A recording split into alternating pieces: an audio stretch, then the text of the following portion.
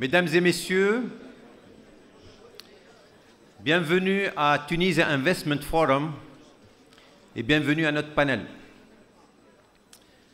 Dans la séance d'ouverture, le temps de Tunisie 2020, dans son édition 2017, est bien donné.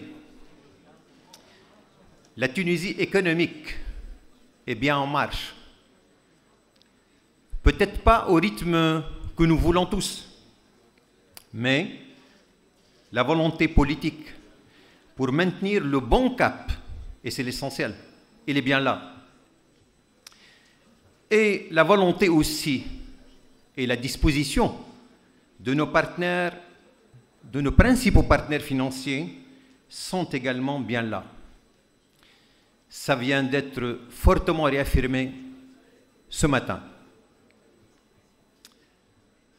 Un grand diplomate avec qui j'ai échangé hier soir sur les perspectives de la Tunisie, un grand diplomate accrédité à Tunis, avait dit, pour résumer la situation, finalement, cette Tunisie n'a pas fini par nous étonner. Ben oui, cette Tunisie n'a pas fini par nous étonner nous-mêmes. Nous allons nous étonner nous-mêmes et nous allons vous étonner. Dans ce panel, nous entrons plus dans le vif du sujet. Nous allons en substance faire l'évaluation du post-conférence 2020 tenu il y a exactement une année et se mettre bien sûr en perspective pour la période à venir. D'abord, la conférence 2020 s'est soldée par un chiffre que nous gardons tous en tête. Un total engagement de 34 milliards de dinars décliné en 15 milliards de dinars sous forme de conventions signées en dons, crédits et contrats d'investissement. Et 19 milliards de dinars de promesses faites par des États et par des bailleurs de fonds internationaux. La question alors est, est-il de ces engagements et promesses Ensuite, la conférence 2020 a auguré une atmosphère d'enthousiasme de la part des investisseurs présents et qui est précurseur d'une relance de l'investissement ou de la dynamique d'investissement dans le secteur privé. Où en est-on alors par rapport au rythme et aux filières d'investissement choisies par le secteur privé? Et enfin, la conférence 2020 a été un moment focal, avant, mais tout de suite après aussi un moment focal pour enclencher la transformation du cadre institutionnel de l'investissement. Le code d'investissement, mais pas que le code d'investissement. Alors, quels sont les progrès qui sont accomplis sur ce plan? Et en quoi et comment ce nouveau cadre peut-il être un vecteur de dynamisation de l'investissement et une force d'attraction des IDE c'est à ces questions clés que ce panel composé des personnes qu'il faut pour la circonstance tentera de répondre. Je voudrais d'abord, en votre nom à tous, souhaiter la bienvenue à M. Youssef Ched, chef du gouvernement, mais aussi à notre guest speaker, M. Zied Lazari, ministre de l'Investissement, du Développement et de la Coopération internationale. À vrai dire, euh, nous sommes tous ici chez lui et ses invités. Je voudrais aussi souhaiter la bienvenue à Madame Nathalie Climence, responsable à la BEE, à la BEI, Banque européenne d'investissement, des financements d'entreprises dans les pays voisins de l'Union européenne, et la remercier pour s'être déplacée pour ce forum. Je souhaite également la bienvenue à M. Mourad Fradi, associé au cabinet Mazar, et co-commissaire général de la conférence Tunisie 2020. À M. Georges-Joseph Gora, country manager en Tunisie de la SFI, Société financière internationale, filiale du groupe Banque mondiale, et qui est actuellement acting country manager pour l'ensemble du Maghreb. Georges est en Tunisie depuis quelques mois seulement. et nous allons sûrement bénéficier de son regard tout neuf sur la Tunisie. Monsieur Antoine Salé de Chou, chef de bureau Tunisie à la BERD, Banque européenne pour la reconstruction et le développement. Antoine est aussi depuis quelques mois seulement dans son poste à Tunis et il va pouvoir, je l'espère, nous donner un éclairage neuf sur la Tunisie et sur les entreprises en Tunisie. Si tout va bien, mesdames et messieurs, nous réserverons 10 à 15 minutes pour vous permettre d'interagir avec les panélistes. Le décor de ce panel étant planté, j'invite, si vous permettez, M. Zied Laderi pour son keynote speech. Zied, allez-y. Vous restez sur place, ok.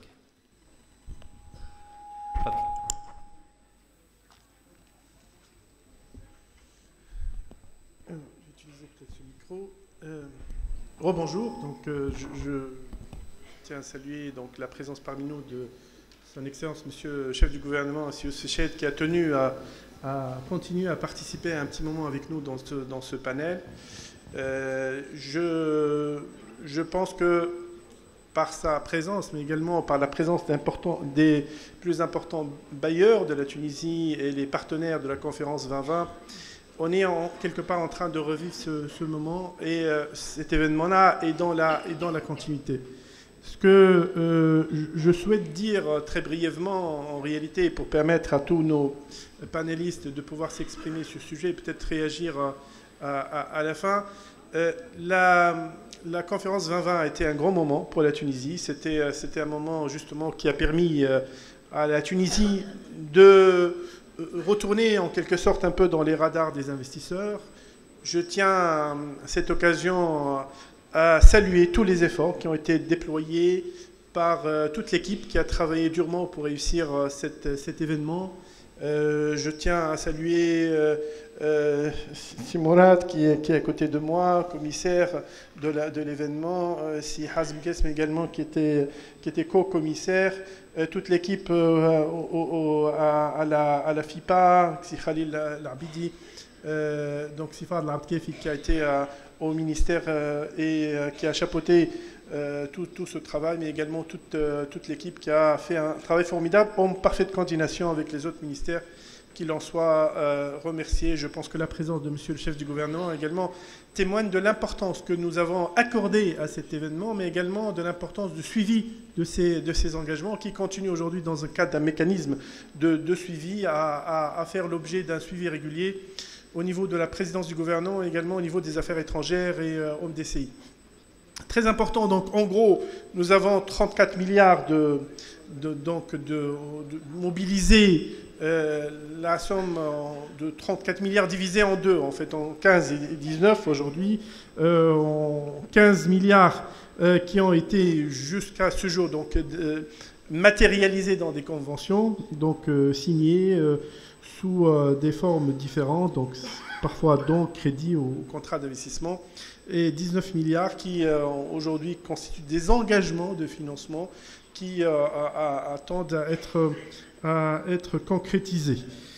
Si on, souhaite répartir un peu ou donner une idée sur la répartition des, des, projets du plan du, du, développement par secteur et, et par région, Monsieur le chef du gouvernement a, donné quelques éléments dans son discours. Je ne vais pas revenir en, détail, mais euh, en, gros, vous avez vu dans les slides également qui ont été présentés que les infrastructures représentent une part importante de, cette, de cet investissement, donc les transports, énergie, euh, eau, euh, et équipements et, habitat, mais également que les ressources humaines, que l'enseignement représentent également une part importante aux alentours de 10%.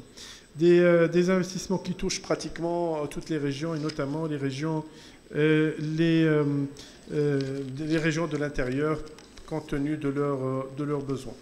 Je reviens très rapidement, si vous permettez, sur les engagements signés, donc que ce soit au niveau multilatéral ou bilatéral.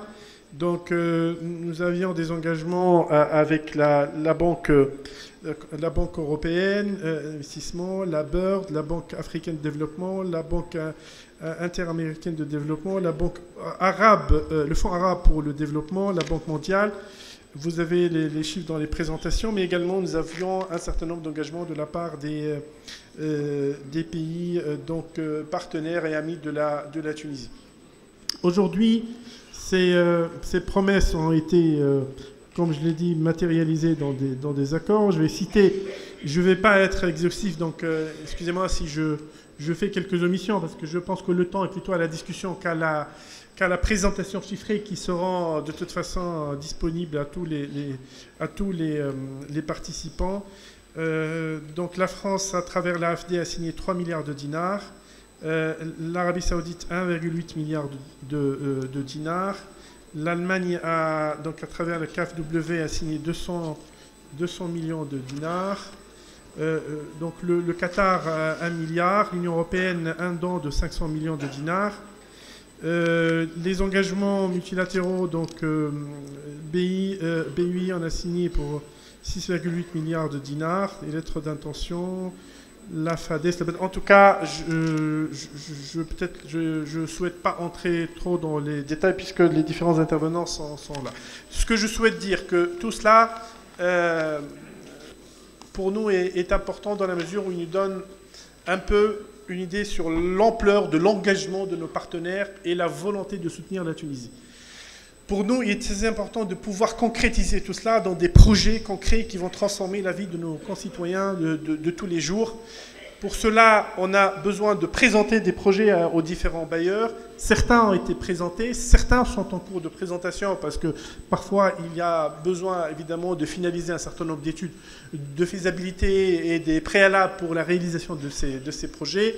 Donc le process est en cours. Je pense que tout cela a un sens pour vous, investisseurs privés, parce que si Conférence 2020 était une conférence pour un peu marqueter le, plan de développement pour les cinq ans en présentant les grands projets publics, je pense que tout cela est dans la continuité et pour vous, cette conférence axée plutôt sur le secteur privé voit des opportunités dans tout cela parce que finalement, même tous ces projets publics, ils seront euh, publics par, euh, par l'origine, par la, la vocation, mais ils seront portés par le secteur privé donc vous êtes certainement dans vos différents domaines concernés par l'ensemble de ces, de ces projets. Donc pour moi, c'est très important pour vous que vous puissiez suivre un peu l'exécution de ces projets et voir toutes les opportunités que cela pourrait représenter euh, pour, pourrait représenter euh, pour l'ensemble des, des, parties prenantes.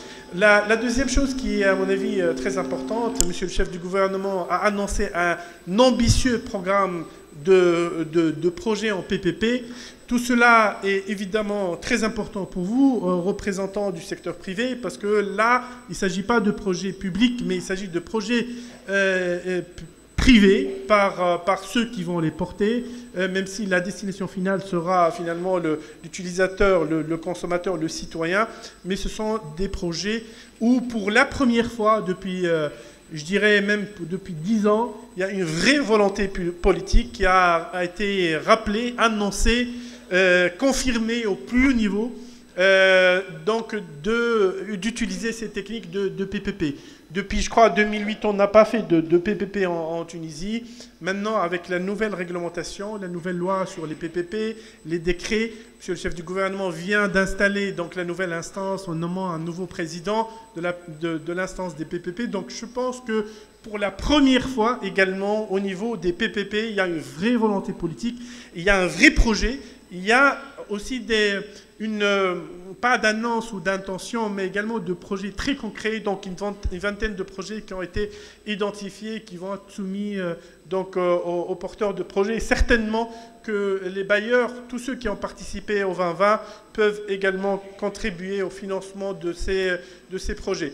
Le troisième volet qui est l'investissement privé, donc euh, avance. Certains accords ont été euh, annoncés, signés euh, lors de la conférence 2020 dans les, dans les différents domaines. Je me réjouis qu'ils sont tous en train d'avancer et de se concrétiser. C'est pour nous un grand signal que les promesses ont été tenues. Donc je tiens à saluer euh, tous les partenaires de la Tunisie, tous les amis de la Tunisie qui sont fortement mobilisés lors des 2020. Je pense que leur présence aujourd'hui témoigne de leur volonté de continuer ce, chemin et la présence de Monsieur le chef du gouvernement témoigne également de sa volonté personnelle de continuer à s'engager pour que toutes ces promesses deviennent une réalité pour le bien de nos concitoyens, pour le bien des Tunisiens, des Tunisiennes qui attendent énormément de ces projets, mais également pour euh, la, la promotion du secteur privé national et international qui est engagé à, aller, à, continuer à, soutenir la Tunisie, aller avec nous dans ce, dans ce chemin porteur d'opportunités. Donc euh, que tous les partenaires soient remerciés. Je ne veux pas citer nommément parce qu'ils sont trop nombreux. Je ne veux pas euh, omettre de, citer les uns les autres. Qu'ils soient vraiment remerciés. Sinourdine, euh, merci d'avoir modéré ce panel et de nous rappeler effectivement que la Tunisie continue à étonner ses enfants, mais continue à étonner dans le bon sens également tous euh, ses partenaires et tous ses amis. Donc, qui en soient euh, vivement remerciés.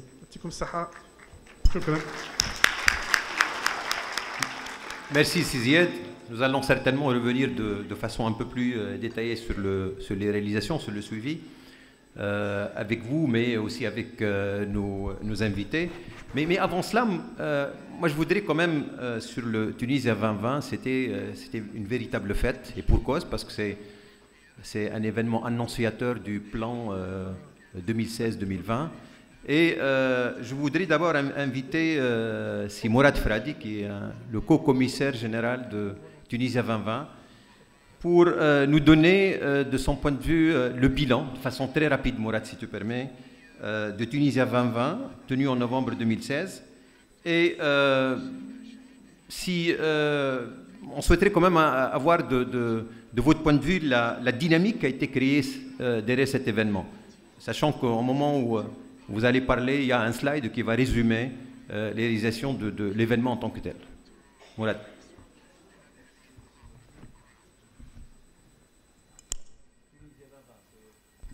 quasiment une année.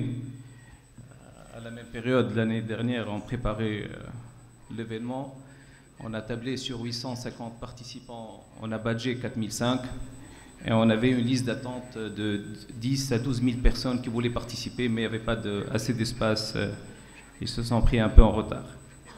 On a eu 1500 euh, participants étrangers euh, à peu près 70 pays avec la présence de chefs d'État, premiers ministres, ministres des différents pays euh, amis.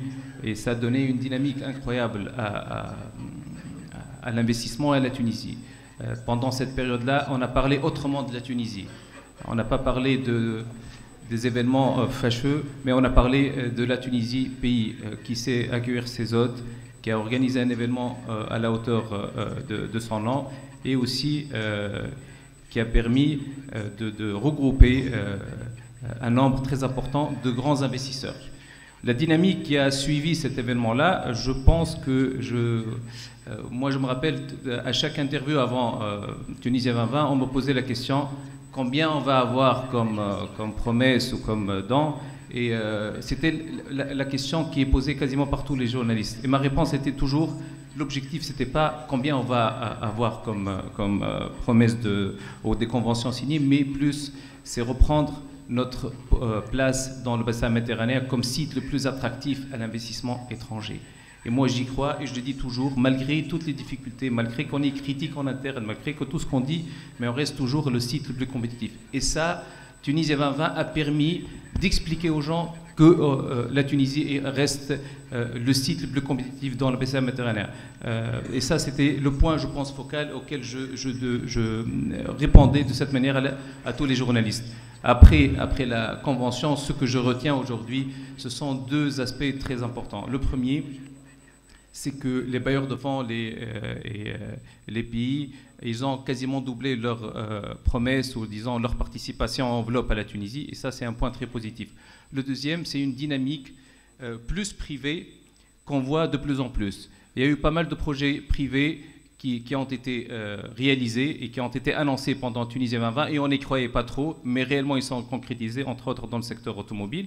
L'autre point aussi, c'est qu'on a vu la force de, des hommes d'affaires tunisiens qui ont saisi l'occasion de Tunisie 2020 pour aller prendre leur bâton de pèlerin et discuter avec leurs partenaires étrangers et ramener des projets euh, en Tunisie en, partenariat entre des Tunisiens et des étrangers. Et ça, je l'ai remarqué pendant ces, euh, dix derniers mois, c'est que j'ai constaté qu'il y a beaucoup d'investissements nouveaux qui, à l'origine, c'est des euh, Tunisiens, des hommes d'affaires tunisiens qui, ont, qui ont pu ramener ces projets-là. Donc je pense que la dynamique de Tunisie 2020 a permis aujourd'hui de reprendre notre place, mais il ne faut pas euh, qu'on s'arrête à ce niveau-là.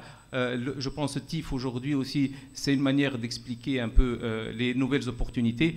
Et tout à l'heure, j'aurai peut-être l'occasion d'expliquer, parce que malheureusement, pendant Tunisie 2020, le code d'investissement n'a pas été promulgué. Et c'est très important de parler du code d'investissement, parce qu'il y a beaucoup d'avantages qui peuvent intéresser les investisseurs étrangers et tunisiens sur les zones de développement régional et autres. Donc euh, j'aurai tout à l'heure l'occasion pour en parler. Merci.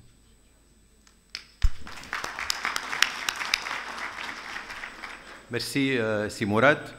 Tunisie 2020, je, je, dirais, nous a placé, euh, nous a propulsé sur une vague. Le taux est maintenant qu'on s'accroche à cette vague et, euh, et qu'on continue, j'allais dire, notre, notre élan. je voudrais enchaîner avec Monsieur, euh, Monsieur Gora, Georges Gora. Euh, je sais, euh, Georges, que vous êtes en charge de la SFI, donc avec un focus sur les, entreprises sur le secteur privé. Mais on sait aussi que vous faites partie du, groupe de la Banque mondiale et on souhaiterait aussi que vous nous donnez votre éclairage sur ce qui, ce qui, a été fait par la Banque mondiale en tant que groupe. Nous savons à l'issue de Tunisie 2020 qu'il y a eu des engagements euh, contractés avec la, Banque mondiale à hauteur de 18 millions euh, d'euros, mais euh, ce n'est pas beaucoup, mais l'essentiel de ce qui a été fait avec la Banque mondiale, c'est les promesses de 4,4 milliards de dinars. Et je souhaiterais que vous nous disiez où en est-on par rapport à ces engagements et promesses euh, du groupe Banque mondiale à date. Euh, mais au-delà de cela, euh, je disais tout à l'heure que vous venez d'arriver à Tunis il y a quelques mois.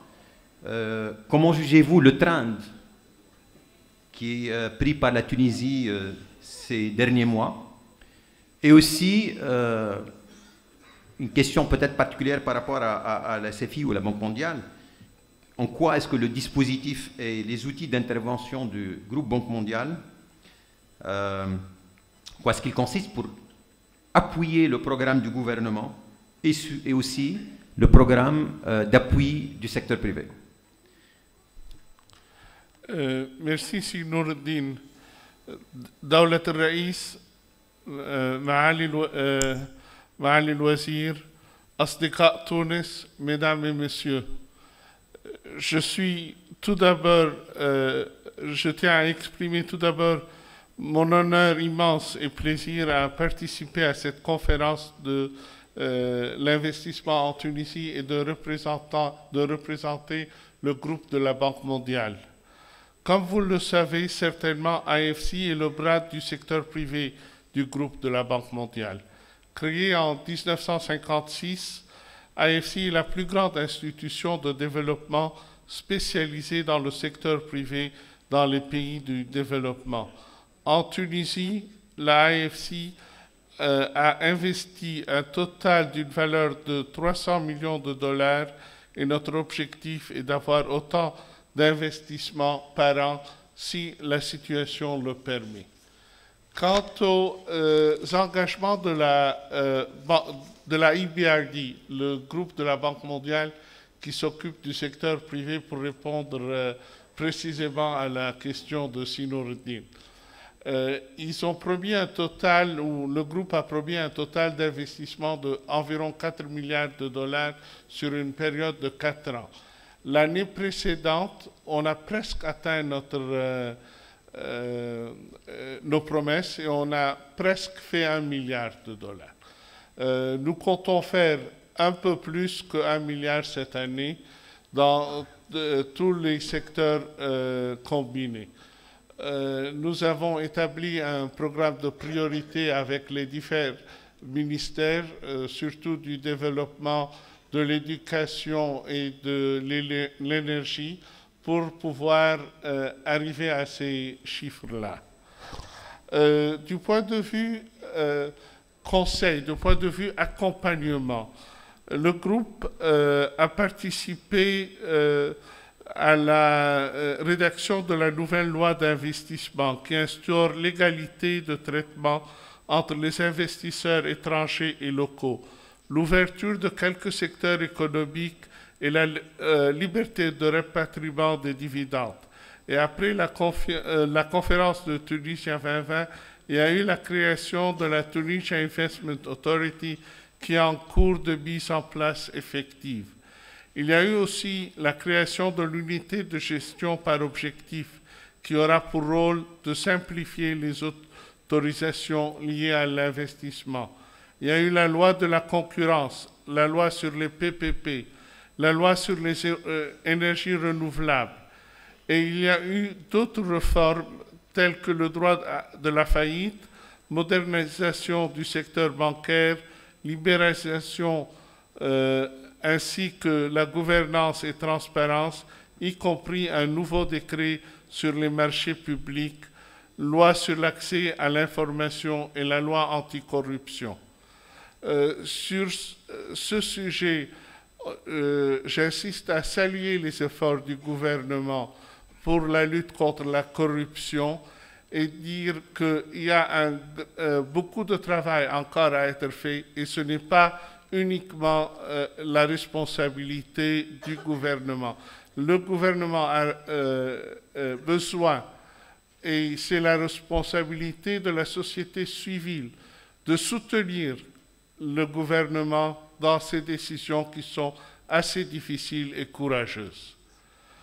AFC a accompagné aussi la Tunisie sur plusieurs de ces réformes à travers la mobilisation d'expertise technique et de conseils et je citerai dans ce cadre la loi d'investissement, la revue du cadre institutionnel de l'investissement, la simplification réglementaire qui est aussi appelée euh, guillotine, revue de la loi de faillite et la loi de, euh, de concurrence. Nous pensons qu'afin de continuer sur cette lancée positive, il serait utile de poursuivre les efforts afin d'améliorer encore davantage euh, le, climat d'investissement. Je pense notamment à la mise en place effective de la liste des autorisations liées à l'investissement et la publication de listes négatives pour les investisseurs étrangers. Je suis au courant que le ministre de Son Excellence, le ministre du MDCI, est en train de travailler là-dessus et ces efforts sont grandement appréciés. Nous pensons que ces efforts sont nécessaires pour renforcer la transparence et la prédictibilité des procédures que les investisseurs locaux et étrangers doivent entreprendre. Là aussi, nous allons mobiliser une assistance technique pour appuyer la Tunisie. Je pense également aux projets PPP qui sont essentiels au développement de grands projets d'infrastructures ou d'énergie renouvelable. Nous avons contribué directement à des expériences très réussies, telles que celui de 653 millions de dollars signé la semaine passée euh, avec l'Égypte pour un projet qui va être le plus grand projet d'énergie solaire au monde. Et nous sommes très intéressés par répéter cette expérience ici en Tunisie. Je pense qu'on pourra passer de projets similaires en Tunisie et cela aura un impact positif sur l'autosuffisance en énergie du pays, sur le prix de l'énergie aux entreprises et aux citoyens. Et cela contribuera très positivement aux revenus de l'État. Nous avons aussi construit un PPP avec le gouvernement jordanien qui est l'aéroport de Queen Alia, qui est un de des meilleurs de la région et qui a contribué plus qu'un milliard de dollars dans les trois dernières années au euh, trésor de l'État sans coter un seul centime à l'État. Aussi une autre expérience que nous aimerons mettre au service de la, euh, de la Tunisie. Au niveau de l'accès au marché, en éliminant les obstacles à l'importation, vous avez certainement tous entendu parler de la circulaire de la Banque centrale qui freine l'importation de quelques biens jugés non nécessaires. Nous comprenons que cela est dû au problème de balance commerciale, mais nous pensons que les mesures de facilitation à l'export, notamment au niveau du port, ont un impact davantage plus positif sur les entreprises, donc sur l'économie. Au niveau de l'accès au financement, nous pensons qu'il faudrait enlever le cap du taux d'intérêt aux PME pour favoriser le financement des entreprises les plus risquées qui ont besoin de financement. Enfin, au niveau de la concurrence, il faudrait renforcer la capacité et les pouvoirs du Conseil de la concurrence et ouvrir certains secteurs à la concurrence, surtout ceux où il y a le monopole de l'État Open Skies et Énergie. Enfin, pour, pour, finir, je souhaite dire que je reste optimiste par rapport à l'avenir économique de la Tunisie. Je réitère l'engagement de l'AFC et du groupe de la Banque mondiale de continuer à appuyer la transition économique pour que la Tunisie atteigne son plein potentiel économique. Je souhaite bonne chance à cette conférence et vous remercie pour votre attention.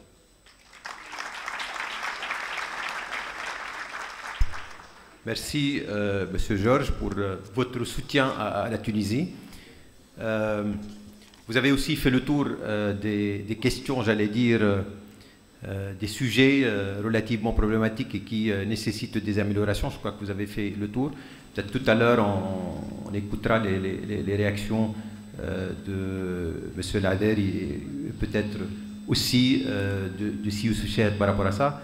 Mais, je voudrais d'abord enchaîner euh, avec euh, euh, Madame Nathalie Climence de la Banque européenne d'investissement pour d'abord nous, parler de l'état des lieux des, engagements et, promesses qui ont été conclus, qui ont été faites par les BI, sachant que on est parti sur une enveloppe de 6,8 milliards de dinars en engagement pour le financement de l'infrastructure essentiellement, mais également euh, alloués pour le développement du euh, secteur privé. Et puis 600 euh, millions de dinars sous forme de crédit. Donc il y a cela, je souhaiterais quand même avoir l'état des lieux, le point de la situation par rapport à cela. Et puis, si vous permettez, Madame, parce que votre focus, c'est essentiellement le secteur privé, on le sait. Et euh, ce qu'on souhaiterait, c'est euh, avoir, de, votre point de vue, euh, votre évaluation justement des entreprises du secteur privé, à qui j'imagine vous avez eu d'une façon ou d'une autre affaire. Et on souhaiterait également savoir les outils que vous proposez aux entreprises pour les accompagner dans leur développement et en quoi, en fait, ce que vous offrez en tant qu'institution soit différent euh, de celles des autres, notamment les banques commerciales et aussi les, institutions financières euh, internationales. À vous la parole, madame. Merci beaucoup pour euh, cette introduction. Donc, je voudrais déjà remercier toute l'assistance pour la qualité des échanges et des présentations aujourd'hui. C'est un plaisir de, revenir en, Tunisie. On sent vraiment une, des acteurs économiques vibrants, des, gens qui échangent énormément et ça fait, plaisir de voir une activité débordante euh, dans ce pays. Alors, tout d'abord, en ce qui concerne la BEI, vous avez eu une introduction par notre directrice, Madame Flavia Palenza. Donc, euh, nous sommes la banque de l'Union européenne. Nous, intervenons dans les pays par des prêts à l'investissement, en complément euh, de l'appui budgétaire qui est apporté par l'Union européenne. Euh, donc nos actionnaires sont les 28 États membres et euh, nous finançons euh, principalement des projets en Europe, mais également depuis plus de 40 ans. Nous avons des partenariats avec les pays hors Europe pour des projets d'investissement suivant certaines lignes directrices de l'Union européenne. Ça se traduit par plus de 80 milliards de, de financement, 80 milliards d'euros par an et nous finançons à peu près 450 projets euh, chaque année dans plus de 260 pays. Donc, euh, prochain slide, donc la Tunisie. Euh, effectivement, nous avons eu cette excellente conférence il y a un an qui a vraiment permis d'être dans les starting blocks pour, pour, avancer sur, sur les investissements. En ce qui concerne la BEI, donc on est actif en, Tunisie depuis plus de 40 ans. On a toujours eu un investissement soutenu et euh, on a signé euh, plus de 3,4 milliards de, prêts euh, sur 32 projets depuis, sur les dix dernières années. Et ce qui est important de mentionner, c'est que depuis 2011, donc, nous n'avons pas ralenti notre investissement, au contraire, nous l'avons accéléré avec plus de 1,8 milliard d'euros d'investissement depuis 2011 sur les PME et les projets d'infrastructure. Euh, il est important de mentionner que le premier secteur d'intervention, c'est l'énergie, le transport. Euh, nous avons accéléré notre investissement au PME avec euh, l'appui des banques commerciales et nous avons également des projets d'investissement direct dans l'industrie. Dans la zone Méditerranée, la Tunisie est le premier pays d'investissement par tête d'habitants. Prochain slide. Donc, euh, à, l'occasion de cette conférence euh, Tunisie 2020, donc nous avons fait, euh, nous avons fait passer un message fort, d'accélération de l'investissement. Et nous sommes engagés à prêter jusqu'à 2,5 milliards d'euros en Tunisie jusqu'en 2020. Donc ça se traduit par principalement des projets dans le secteur public, l'énergie, le transport, l'infrastructure sociale, la santé, l'eau mais également euh, une accélération par plus d'assistance technique, donc en appui euh, aux, cellules d'implémentation des projets, et également une accélération des, financements dans le secteur privé. Euh, nos actionnaires veulent une accélération des financements dans le secteur privé pour une croissance plus inclusive et également le secteur privé qui est catalyseur d'emplois de qualité dans les, pays où nous intervenons. Donc ce sont vraiment des, lignes directrices très fortes qui nous ont été données et que l'on on, implémente maintenant dans, les pays, en particulier en Tunisie. Donc, euh, comment, où est-ce qu'on se situe par rapport à ces engagements Donc, nous sommes, euh, ces engagements sont sur les rails. En termes de montant, donc en 2016, nous avons financé 408 millions d'euros euh, sur l'industrie, l'environnement, le secteur financier mais également les infrastructures euh, de télécommunications, car nous pensons que les TIC sont un, secteur extrêmement important euh, en Tunisie euh, comme accélérateur de croissance et également comme facteur de désenclavement des, régions. Et les signatures en 2016, donc, elles se situent sur un niveau légèrement supérieur, toujours dans les secteurs de l'infrastructure, mais également par la mise en place d'instruments innovants comme euh, l'a évoqué notre directrice, euh, la Tunisie est euh, un des seuls pays de la Méditerranée à être bénéficiaire de, de, l'horizon 2020 de l'Union européenne. Donc ça permet à la BEI d'intervenir avec des instruments plus sophistiqués euh, les mêmes instruments que nous appliquons sur, euh, sur l'Union européenne. Et là, en l'occurrence, aujourd'hui, euh, nous signerons une, opération emblématique de, garantie de, portefeuille pour les, pour les banques, de portefeuille d'entreprises liées à l'innovation. Donc ça, c'est quelque chose auquel nous tenons beaucoup. Euh, nous avons déjà démarré euh, ce programme Innofin l'année dernière, donc euh, avec Tunisie Télécom, et nous le poursuivons maintenant avec le secteur bancaire, et nous espérons poursuivre aussi en investissement direct aux entreprises innovantes de la Tunisie. Je vous remercie.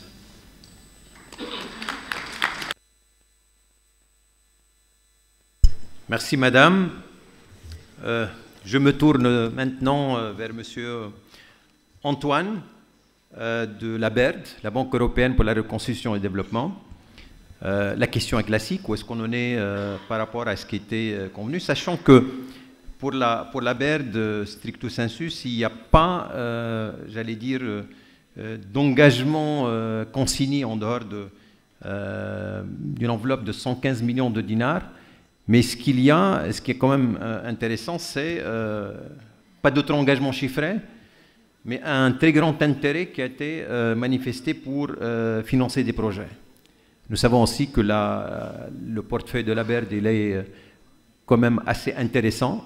C'est l'occasion peut-être de mettre un focus sur la, composition de votre portefeuille ou est-ce que vous êtes en train d'investir ou vous êtes en train de, Quelles sont les activités que vous êtes en train de, de, soutenir?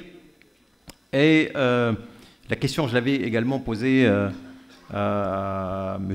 Georges euh, sur euh, l'état des lieux, j'allais dire, de, des réformes qui, qui sont entreprises en Tunisie pour à la fois l'amélioration des conditions d'exercice du, du marché, surtout pour le développement des entreprises. Est-ce que vous pouvez nous dire également un mot là-dessus?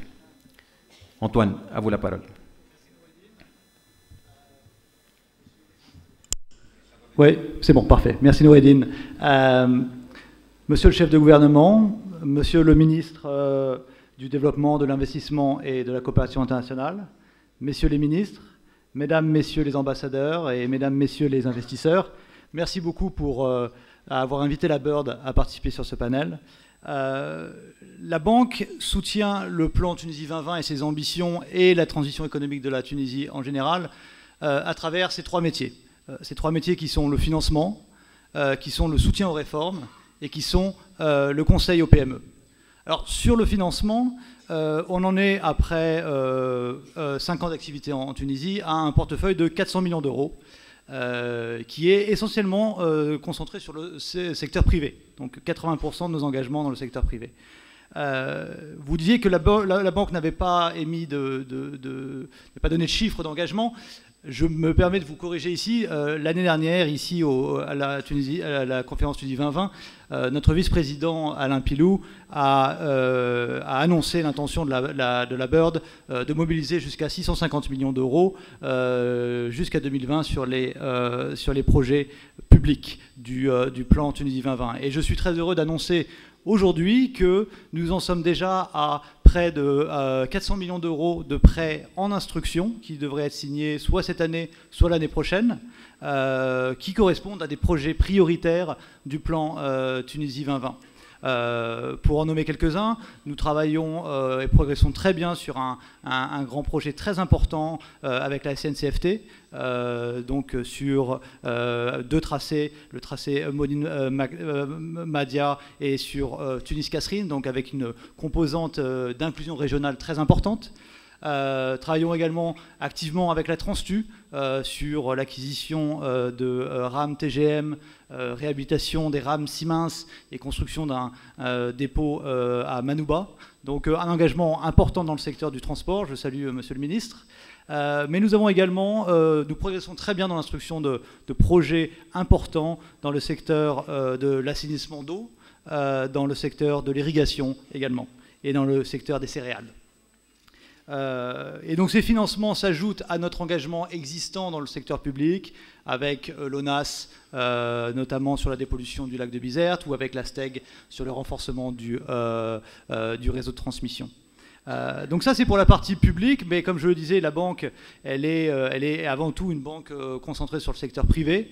Et donc nous avons dans notre portefeuille accompagné des entreprises directement, notamment dans le secteur agroalimentaire, hein, où on, construit, quand on commence à construire une taille critique, et en particulier dans le secteur de l'huile d'olive, qui est un secteur très porteur à notre, à notre sens, et où nous accompagnons le développement de la filière, et particulièrement la création d'une offre commerciale made in Tunisia. Euh, mais nous avons également assisté des, entreprises euh, dans le secteur de euh, la technologie, de la santé ou de l'automobile. Ce qui est important aussi à souligner, c'est que lorsqu'on travaille, si, si, on pourrait remonter sur les slides précédents, donc le premier slide, voilà, juste nos instruments d'intervention sont très flexibles pour, accompagner les, entreprises.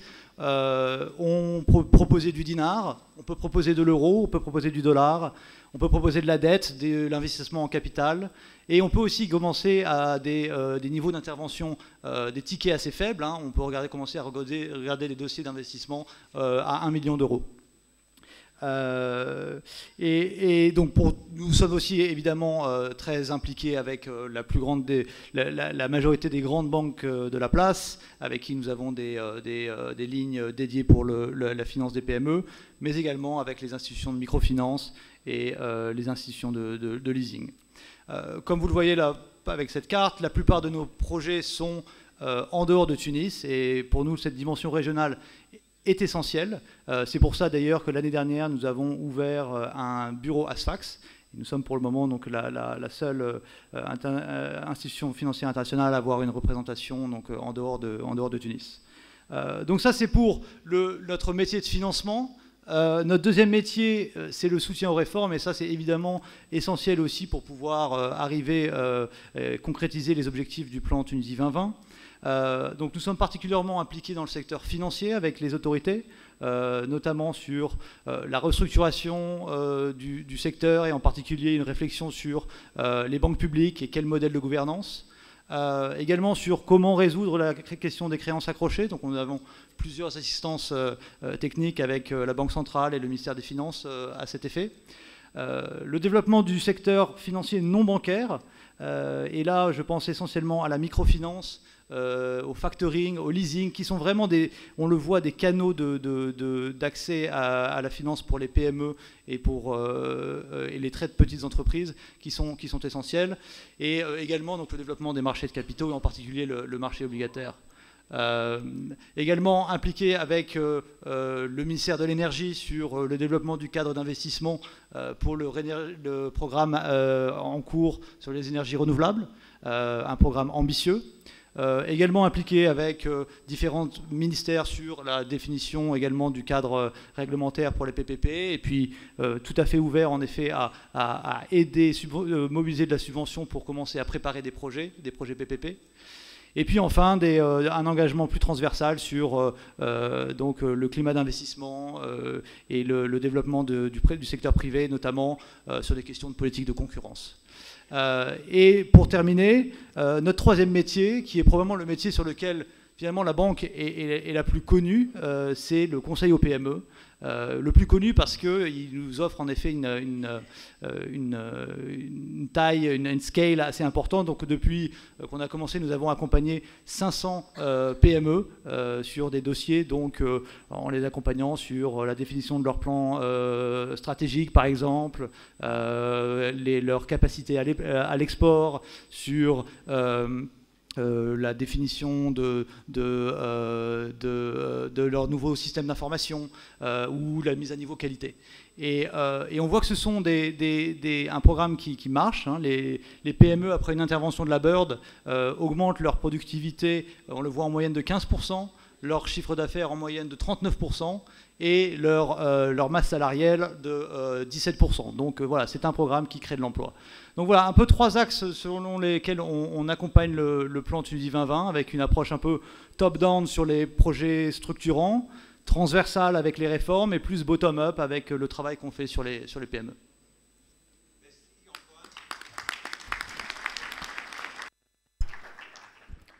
Merci Antoine. Euh, je crois qu'on a euh, de temps en temps besoin euh, qu'on nous rappelle, qu'on nous dise ce qui est en train de se passer sur le terrain parce qu'on a tendance à l'oublier. Il y a des choses qui se passent sur le terrain, et c'est une bonne chose.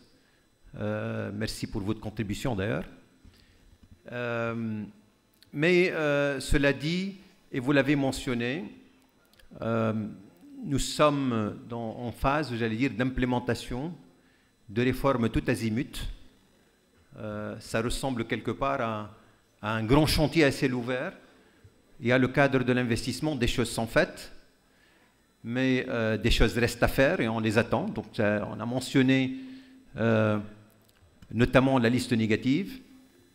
On a mentionné également, c'est quand même un élément important par rapport au cadre de l'investissement, et c'est en dehors de l'aspect législatif, c'est l'implémentation euh, des structures en charge de l'investissement. Donc on réclame l'amélioration de la capacité opérationnelle de l'État pour implémenter les structures qui, euh, pour l'accompagnement de l'investissement, pour la facilitation de la vie à l'investisseur. Euh, on a évoqué un certain nombre de lois, j'allais dire, fondamentale pour l'investissement et on évoque certains soucis qui sont exprimés. Vous parlez de la, de la loi sur les PPP, du cadre sur les énergies renouvelables, la restructuration du secteur bancaire et, j'en passe. Il y a pas mal, j'allais dire, de, de demandes du côté à la fois des observateurs, mais aussi des acteurs du secteur privé. On réclame les réformes, on réclame la rapidité d'action. Euh, je souhaiterais par rapport à ça euh, avoir euh, les commentaires de Monsieur le chef du gouvernement et probablement de Siziad Ladari par rapport à cette, j'allais dire, à cette dynamique, à ce à, quoi on peut s'attendre sur les, les, prochains mois par rapport aux réformes. Écoutez, je, réitère tout d'abord mes remerciements à, tous les, à tous ceux qui ont contribué à l'organisation de, euh, ce débat, euh, aux invités de la Tunisie. Je pense que c'est très important également d'évaluer une année après euh, ce qui s'est réalisé de Tunisie à 2020 et de continuer à faire un suivi régulier. Euh, il faut resituer toujours le, cadre dans lequel on opère. La Tunisie a vécu une révolution en 2011. On ne le rappelle jamais euh, assez souvent. C'est une vraie révolution avec un changement total euh, qui a eu en Tunisie. je dis souvent que la, la, démocratie a un coût. Un coût, c'est que les premières années post-révolution, et ça se passe partout pareil dans le monde, nous ne nous sommes pas occupés suffisamment d'économie. Nous avons été focalisés sur la transition démocratique, sur la transition politique, sur la mise en place d'institutions euh, euh, démocratiques. Aujourd'hui, la Tunisie est une vraie démocratie, euh, avec une nouvelle constitution approuvée en 2014, des élections législatives et, présidentielles qui ont eu lieu en 2014. Et puis, nous sommes aussi sur un, parcours de décentralisation de l'État tunisien. Hein. Il ne faut pas l'oublier, la, Tunisie devrait euh, être un État décentralisé comme le prévoit la constitution tunisienne. Donc tout cela aussi sont des réformes importantes qui ont impacté la, Tunisie et peut-être que le coût économique a été, l'économie a souffert pendant les premières années après la Révolution. Aujourd'hui, nous avons, une croissance moyenne autour de 1,5%. Euh, pour les cinq premières années après la Révolution, euh, à, cause de tout ce que euh, je viens de dire. Aujourd'hui, nous avons un retour de la croissance, nous avons eu un frémissement qui s'est concrétisé au fur et à mesure. nous avons un retour des secteurs productifs, le phosphate et d'autres secteurs, le tourisme. Il ne faut pas oublier que la Tunisie également a été frappée par trois attentats terroristes en 2015. Euh, des attentats qui ont ciblé justement la démocratie tunisienne. Ce n'est pas un hasard que la Tunisie, euh, comme de nombreux pays européens, malheureusement, euh, est la cible d'attaques de groupes terroristes. depuis, fort heureusement, nous avons énormément également investi en matière de sécurité, en matière de formation de, nos forces de sécurité, en matière d'équipement ce qui a permis aujourd'hui un retour de la sécurité en Tunisie, une situation sécuritaire stable et, qui a permis également euh, le retour du, tourisme, par exemple, et d'autres activités. Donc, c'est pour ça qu'il euh, faut se rappeler de ce qui s'est passé en Tunisie. Euh, c'est vraiment un vrai changement, une vraie révolution. Aujourd'hui, la Tunisie partage des valeurs démocratiques avec l'ensemble du monde moderne. L'enjeu est vraiment économique aujourd'hui parce que si on veut renforcer cette démocratie tunisienne et euh, définitivement l'ancrer dans le, champ des démocraties modernes, il faut, euh, euh, travailler sur le volet économique et social. C'est la priorité du, gouvernement, c'est le retour de la croissance en activant les moteurs classiques de la croissance tunisienne que sont l'exportation et les investissements, en particulier les investissements directs étrangers. et puis également, il faut travailler sur les réformes nous avons euh, tardé un peu à entamer des réformes importantes sur les caisses de sécurité sociale, sur la fonction publique, pour améliorer le service notamment aux investisseurs, sur les banques publiques, etc. Donc un certain nombre de réformes qui doivent aller de pair avec le retour de la croissance. Nous avons présenté des objectifs à horizon 2020. certains diront qu'ils sont trop optimistes, d'autres diront qu'ils sont peu optimistes. Mais euh, nous avons essayé d'être réalistes en fonction de ce que vous avez dit, de la capacité d'absorption également de l'État, de l'administration tunisienne, des objectifs en matière de déficit public. Ça ne parle pas peut-être au, commun des gens, mais nous avons fixé un cap d'obtenir, d'avoir des déficits à 3% à horizon 2020 en démarrant, euh, enfin en allant à 4,9 l'année prochaine, euh, ce que nous avons mis dans la loi de finances. Bien sûr, cela occasionne euh, une nécessité de, sacrifice également pour, certains opérateurs. les finances publiques restent un, stress important pour la Tunisie, également issu des nombreuses années post-révolution où nous avons également beaucoup recruté dans la fonction publique. Est-ce qu'on avait d'autres solutions? Euh, j'en suis pas sûr. Euh, donc tout ça, c'est des challenges euh, auxquels nous faisons face, mais nous faisons face avec une confiance importante, parce que ben, c'est-à-dire nous avons en Tunisie une prédisposition importante en matière de ressources humaines qualifiées, en matière de bassin d'emploi euh, très dynamique, très actif euh, en matière de proximité géographique, euh, aussi bien à l'Europe qu'à l'Afrique subsaharienne et avec les pays voisins, une situation aussi importante, et puis un, volet législatif pour l'investissement que nous essayons tous les jours de renforcer avec le code d'investissement qui, comme vous l'avez dit, n'a pas été suffisamment, et là c'est également une tâche qui nous incombe, c'est de faire connaître un peu plus le code d'investissement, le code d'incitation fiscale, la loi sur les PPP, tout ça, en, l'espace de quelques années, nous avons réussi à, se doter d'un dispositif et d'un arsenal législatif. Aujourd'hui, il faut passer à l'implémentation. Euh, euh, le PPP, euh, c'est pour ça que nous, nous allons, à horizon 2020, nous avons proposé à peu près 5200 millions de dinars de projets déjà identifiés en partenariat public-privé, mais Également, l'État, nous parlons souvent du passif de l'État, mais sachez qu'également nous avons un actif très important aujourd'hui qui n'est pas mis en valeur suffisamment et que l'État, avec ses propres moyens, probablement n'est pas aujourd'hui en mesure de le mettre en moyens. Et c'est pour ça que euh, nous allons lancer des concessions, des PPP, pour valoriser tout cet actif de l'État et pour commencer à changer le modèle de développement tunisien, euh, historiquement basé sur euh, euh, un titre 1, un titre 2 et puis un financement, un, investissement privé. Aujourd'hui, nous croyons beaucoup à l'expérience des PPP, notamment avec les bailleurs de fonds internationaux, la Banque mondiale et, d'autres. Donc, je pense que le cap est tracé. nous, nous visons une croissance de 5% à horizon 2020.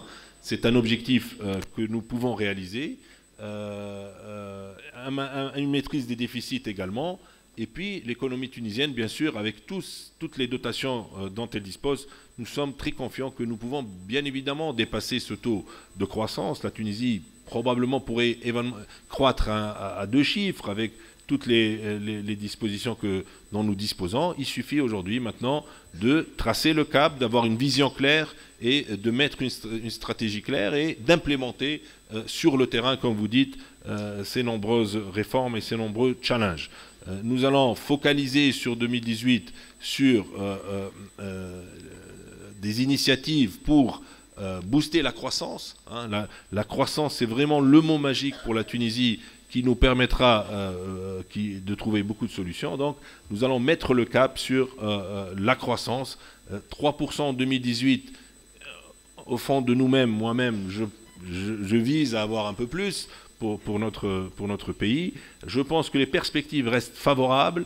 Euh, nous avons passé par des difficultés. Probablement le plus dur est derrière nous aujourd'hui et euh, les, perspectives sont favorables. Je voudrais aussi euh, saluer et remercier tous les bailleurs de fonds de la Tunisie et aussi les investisseurs de nombreux pays qui continuent à croire en la Tunisie qui, l'ont démontré pendant la, conférence l'année dernière Tunisia 2020. C'est un signe important de confiance qui a été donné à la Tunisie, à la démocratie tunisienne, aux valeurs euh, qui sont aujourd'hui partagées en Tunisie de liberté, de droits de l'homme et, toutes ces valeurs universelles auxquelles nous croyons et qui sont des acquis euh, définitivement euh, ancrés en Tunisie. Donc je reste très confiant, optimiste avec tout cet environnement positif dans lequel évoluera la Tunisie. Les menaces, évidemment, existent. La menace sécuritaire est importante, comme j'ai dit.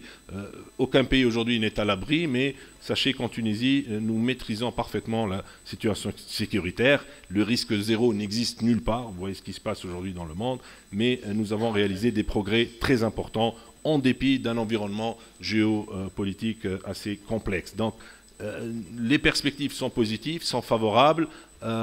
il faut aller de l'avant, il faut investir en Tunisie, il faut continuer à, aller dans les régions difficiles en Tunisie.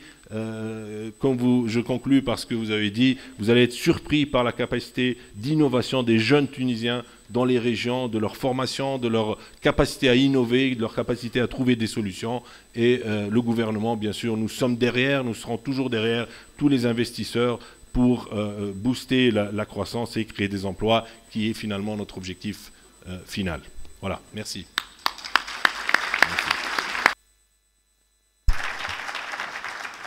Merci, Monsieur le Président du gouvernement.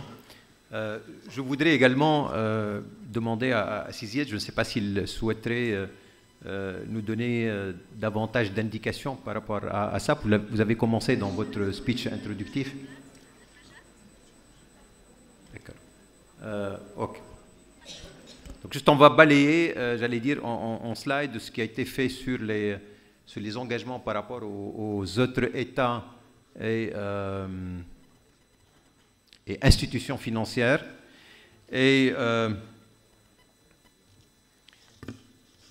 je vous propose de, de switcher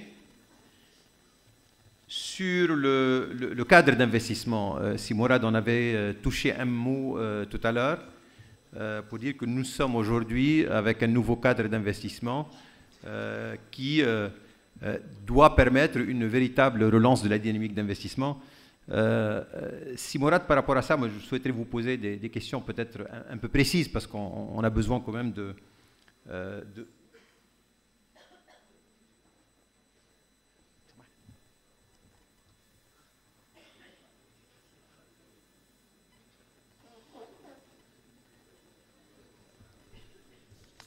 les organisateurs me demandent de, raccourcir au maximum et, de conclure. Alors, à ce moment-là, je, vais passer, si vous permettez, directement la, parole aux panélistes euh, pour euh, nous donner euh, quelque part le, mot de la fin, la synthèse de, tout cela.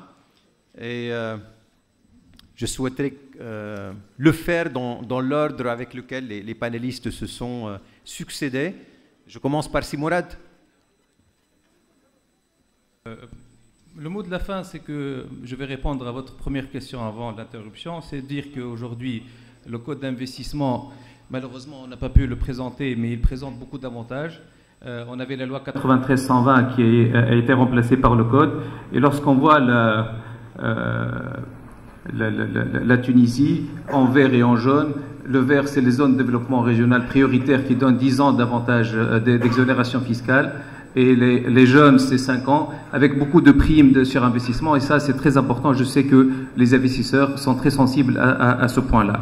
Aussi, malheureusement, je n'ai pas pu présenter le, la réglementation des PPP. L'objectif, c'est d'atteindre en 2030 à peu près 30% euh, euh, d'énergie renouvelable. Et ça, c'est aussi euh, un point très important pour les investisseurs étrangers, dont euh, à peu près les trois quarts, c'est les investisseurs étrangers qui vont participer au plan énergétique, énergie renouvelable. Ça, c'est le dernier mot, c'est que je dis aujourd'hui, j'espère que ce forum-là c'est le début euh, d'un roadshow qu'on va commencer à faire pour euh, le, code d'investissement. Euh, il, n'a pas été très médiatisé ou expliqué aux investisseurs étrangers.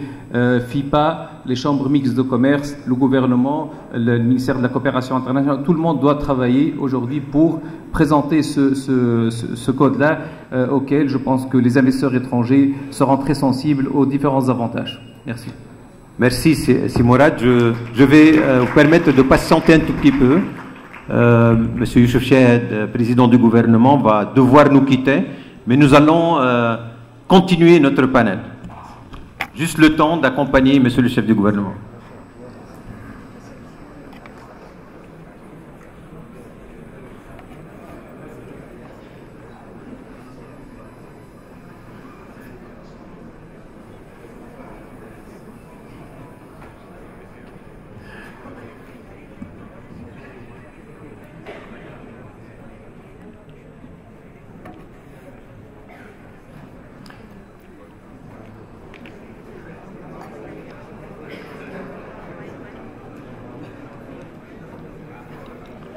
Antoine, j'ai encore besoin de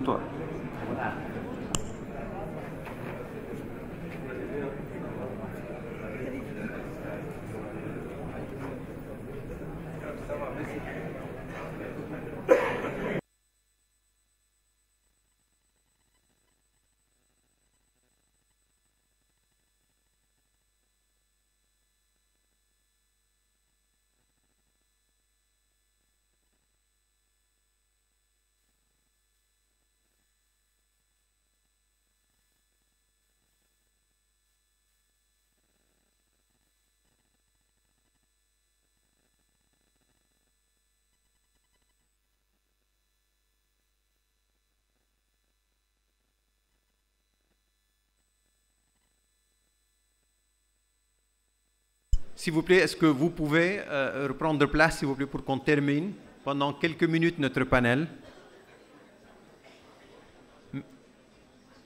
Merci. Merci de prendre place, s'il vous plaît.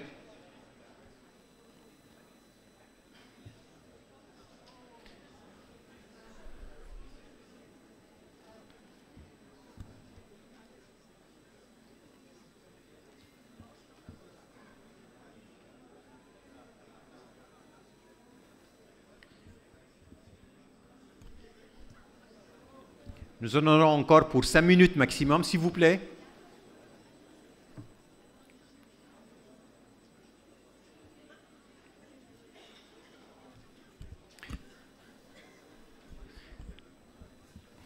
Alors, Georges, si, vous voulez bien enchaîner euh, pour nous donner un peu le, mot de la fin, comment vous voyez les choses, qu'est-ce que vous retenez de, cette expérience et de, ce que vous avez déjà, j'allais dire, euh, vu euh, pendant cette matinée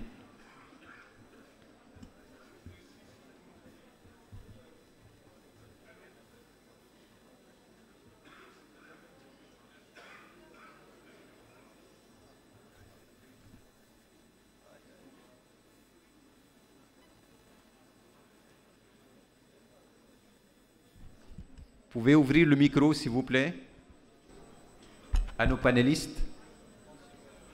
Alors, oui. Yes. Bon, euh, le, le, thème euh, des, réunions de, euh, des réunions annuelles du groupe de la Banque mondiale et du Fonds monétaire international a été cette année euh, la sécurité à travers le développement. Nous, dans le groupe de la Banque mondiale et surtout dans la, à la AFC, nous voulons contribuer au développement de la Tunisie qui euh, euh, contribuera en lui-même euh, à la question sécuritaire dont tout le monde a pensé. Un tout petit mot de fin aux investisseurs étrangers. La Tunisie est ouverte pour le business, pour les investissements, et nous, à la AFC, nous aimerions les accompagner pour mitiger les risques qu'ils ne peuvent pas mitiger à eux seuls. Merci Georges. Nathalie?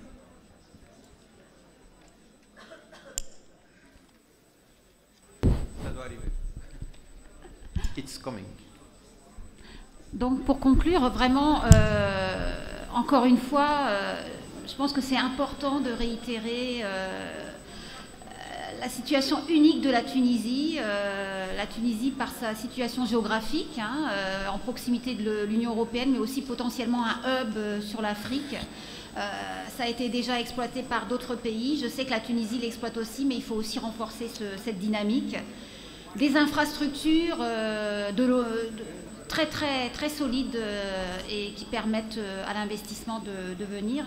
Et surtout surtout les, compétences c'est vraiment un pays unique dans la mosaïque de la région euh, les compétences sont très très très fortes ici en Tunisie. Euh, nous avons euh, des acteurs des acteurs globaux, des acteurs locaux qui sont globaux de longue date, c'est assez unique, qui peuvent être aussi un appui aux investissements directs étrangers. Je sais que dans les partenariats publics-privés, il est très important pour les investisseurs de s'appuyer sur une infrastructure d'entreprise privée locale euh, qui peuvent euh, les appuyer dans leur investissement. Donc ça, vraiment, euh, la Tunisie, là.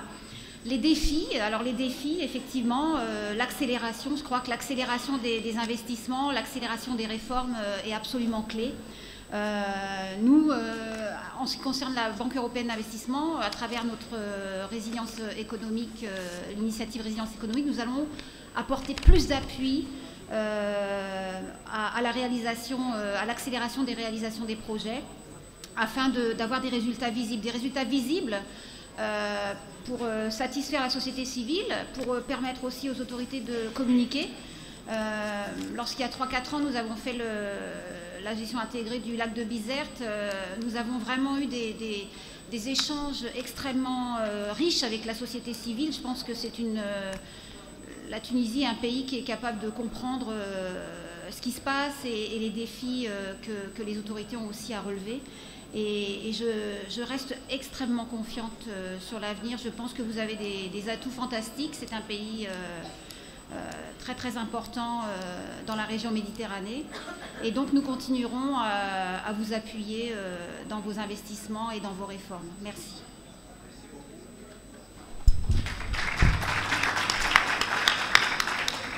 Merci beaucoup pour votre témoignage. Antoine? Oui, moi, mon, mot de la fin, ce sera, ce sera un mot d'enthousiasme sur les, opportunités d'investissement en Tunisie. Et, ici, pour être un peu dans le concret, je, je peut-être identifier trois gros grosse opportunité à mon sens pour les investisseurs privés. Euh, il y en a d'autres, mais je pense que ça peut être. Euh, euh, ce sont des secteurs sur lesquels la, Tunisie a vraiment quelque chose à, démontrer. Un, c'est le secteur de la pharma. c'est clairement un secteur sur lequel la Tunisie a le potentiel de développer des champions régionaux à l'échelle du continent africain. Euh, on, a, euh, on le voit, hein, les, seules entreprises d'Afrique du Nord euh, du secteur qui se sont étendues et qui ont fait des acquisitions en, Afrique subsaharienne, ce sont des entreprises tunisiennes. il y a un cadre réglementaire favorable, il y a des entrepreneurs très motivés dans ce secteur. Donc, donc ça c'est un. Un autre secteur qui aussi, je pense vraiment, euh, a énormément de potentiel. J'en parlais avant, c'est l'huile d'olive. Euh, clairement, on le voit ces dernières années, euh, de plus en plus de focus sur la qualité du produit, la stabilité du produit, mais également son, son, marketing, hein, sur, avec l'embouteillage, et puis un développement à l'export. On voit que c'est un produit qui commence vraiment à plaire en Amérique du Nord, en Asie. donc ça, c'est extrêmement encourageant. Euh, et puis le troisième, euh, peut-être opportunité d'investissement vraiment qu'il faudrait avoir en tête pour, euh, pour les investisseurs dans la, dans la salle, c'est le, le, secteur des énergies renouvelables. donc les, les, autorités tunisiennes se sont fixées des, d'ambitieuses cibles de 30% de renouvelables dans le mix énergétique d'ici 2030 et avec un gros potentiel d'ensoleillement, un gros potentiel éolien clairement, ça offre des, opportunités. On travaille, nous, la Bird, avec le ministère de l'Énergie pour s'assurer qu'on arrive à un cadre d'investissement euh, qui alloue le risque de façon adéquate. Euh, euh, et, voilà, donc des, créneaux sur lesquels la Bird est, prête également à, vous, à vous accompagner. Merci. Merci beaucoup, Antoine. merci aussi à vous. Euh, toutes et tous pour votre présence, pour votre patience aussi. Je vais devoir euh, clôturer cette euh, session matinale. Et je pense que le, programme prévoit, me semble-t-il, une reprise vers euh, vers 15h, c'est ça? 14h30 ou 15h La reprise, c'est à quelle heure? À 14h30. Donc il n'y a qu'à vous souhaiter, j'allais dire, euh, bon appétit. en même temps, je voudrais faire une annonce aux panélistes. Euh, euh, j'ai le plaisir de vous annoncer que vous avez réussi et donc vous avez droit à une attestation pour votre participation. Sirlil. Merci beaucoup.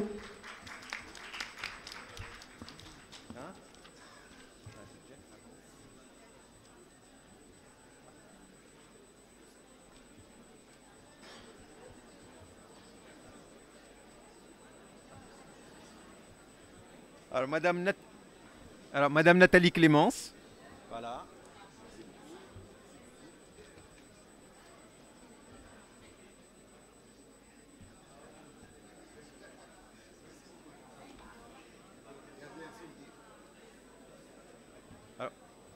Antoine Salé de Chou. Voilà, il m'entend,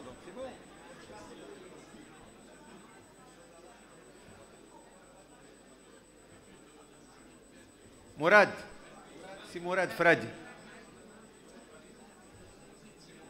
Avec mention d'ailleurs.